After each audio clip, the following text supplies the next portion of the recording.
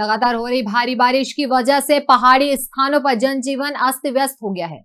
आलम यह है कि जगह जगह पहाड़ियाँ दरक रही हैं, जिससे लगातार भूस्खलन हो रहा है और सड़कें बंद हो रही हैं। इस बीच मौसम विभाग ने अगले चार दिन भारी बारिश का ऑरेंज अलर्ट और रेड अलर्ट जारी कर दिया है।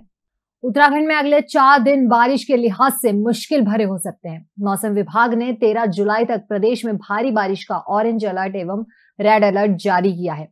मौसम विभाग ने भूस्खलन सड़कें बंद होने, आकाशीय बिजली गिरने और नदियों का जल स्तर बढ़ने की संभावना जताई है।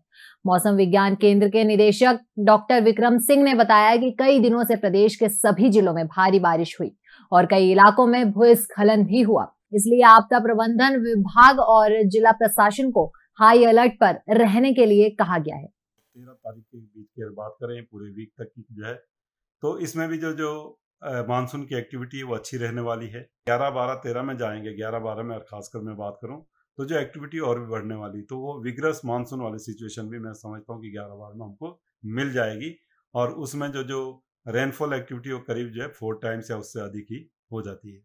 तो कहीं ना कहीं जो दिक्कतें वो थोड़ी और बढ़ने वाली है।